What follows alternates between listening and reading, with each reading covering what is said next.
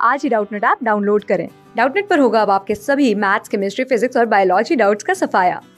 बस अपने क्वेश्चन की फ़ोटो खींचो, उसे क्रॉप करो और तुरंत वीडियो सोल्यूशन पाओ। डाउनलोड नाउ हेलो स्टूडेंट्स हमारा क्वेश्चन है when one goes to a new place and suddenly start sneezing and wheezing for no explain reason and then these symptoms disappeared when one returns the condition is called and हमें ये four option given है जिसमें से हमें correct option choose करना है okay okay?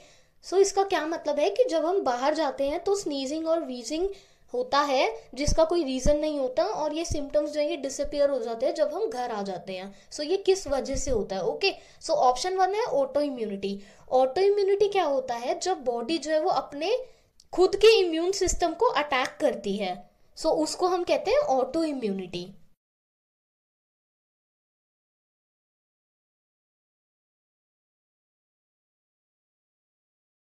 okay so option one जो है वो रॉन्ग ऑप्शन है.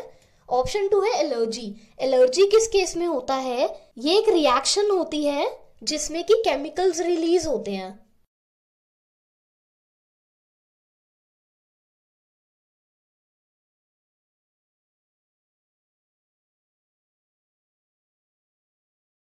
सो so, ये किस केस में होती है? जब बॉडी जो है वो किसी फॉरेन पार्टिकल के कांटेक्ट में आती है जैसे कि डस्ट और पोलन और एनी एलर्जन इसके रिस्पॉन्स में ये जो है ये केमिकल्स रिलीज़ करती है बॉडी जैसे कि हिस्टामाइन और सेरोटोनिन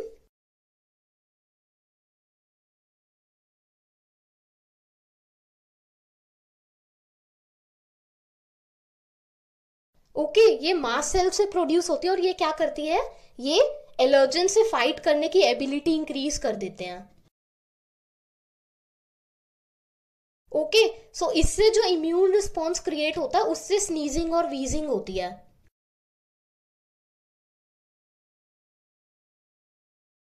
तो जब भी हमारी बॉडी को कोई फॉरेन पार्टिकल और एलर्जन अटैक करता है सो उससे बॉडी का कुछ इम्यून रिस्पॉन्स होता है जैसे कि स्नीजिंग और वीजिंग क्योंकि तो डस्ट से ट्रिगर होता है, कुछ लोग जो है वो एनवायरमेंट से जो है वो बहुत सेंसिटिव होते हैं तो इस वजह से उन्हें डस्ट या पॉलन जैसी चीज़ें भी अटैक कर जाती हैं और इन रिस्पॉन्स स्नीजिंग और वीजिंग होती है और जैसे ही वो अपने होम आ जाते हैं या अपने फ्रेंडली एनवायरमेंट में आ जाते हैं सिम्टम्स जो है वो डिसअपियर हो जाते हैं ओके okay? सो so, इस कंडीशन को क्या बोलते हैं? इस कंडीशन को बोलते हैं एलर्जी सो ऑप्शन टू जो है ये करेक्ट है। पैसिव इम्यूनाइजेशन क्या होता है? जब किसी पर्सन को दूसरे पर्सन की एंटीबॉडीज रिसीव होती हैं।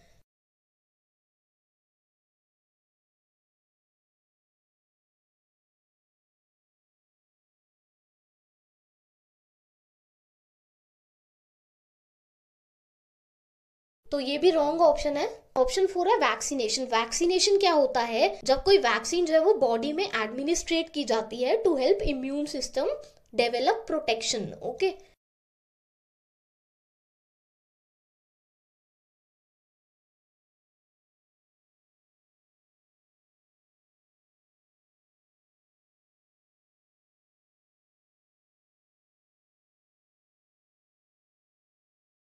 so ये भी रॉन्ग ऑप्शन है. सो हमारा करेक्ट ऑप्शन क्या होगा? The condition is called option two allergy okay